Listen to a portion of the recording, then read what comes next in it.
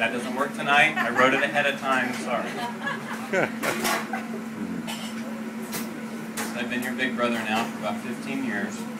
It's truly been a pleasure to watch you grow up and mature over that time. You're a remarkable young woman and have accomplished so much and done so many things in the time that I've known you. I think that you've created a won't quit attitude and that you're a very determined person. Because of this, I do believe that your marriage will be the greatest accomplishment of them all. When you're old, wrinkly, and looking back your beautiful super old, like 112.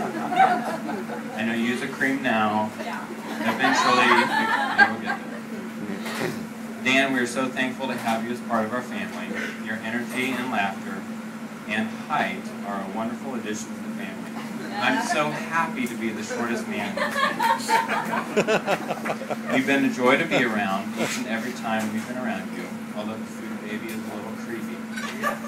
The food baby in Vegas, not as creepy, but still pretty creepy.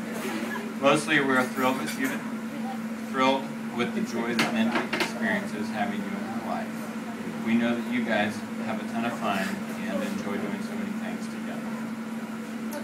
Nothing will give you a greater pleasure in your life than the things that come from this union. Your spouse is your best friend, someone to share lives together. Your spouse is the parent of your children if you choose or are lucky enough to have them. Your spouse is the one that will be there to help fulfill all your romantic times in your life. It truly is a partnership that can be absolutely amazing. I know that I've reflected back on my marriage with your upcoming wedding. I would not have imagined on the day that, that we were married that we'd be here on this beautiful island with two wonderful kids, one asleep, one awake, having so much fun. Marriage truly is a gift from God. It's been folded up for a couple days, so.